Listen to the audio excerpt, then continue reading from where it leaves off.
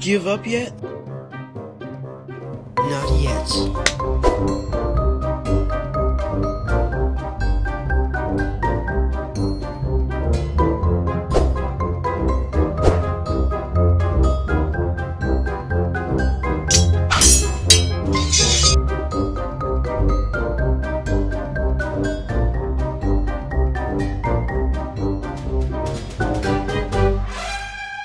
Great job, you two.